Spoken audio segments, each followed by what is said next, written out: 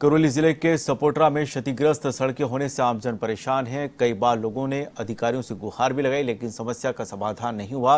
वहीं खाद्य मंत्री रमेश मीणा के प्रयासों से लोगों को जल्द ही राहत मिलने वाली है। इसके लिए सरकार ने विधानसभा क्षेत्र की 19 सड़कों के मरम्मत और नवीनीकरण के लिए स्वीकृति जारी कर दी है।